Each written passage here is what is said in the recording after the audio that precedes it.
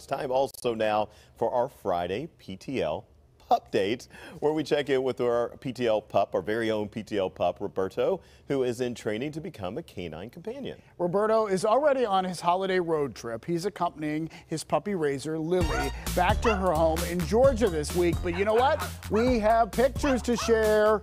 Yep, and this week in his puppy training class with Step at uh, Step at Pitt, he's been working on cues like lap and roll, but also a down stay. I don't even know if I could get down stay. Down stay? I don't, I don't know what that is. Lily says this is especially helpful in their lives on a busy Pitt campus. I can imagine.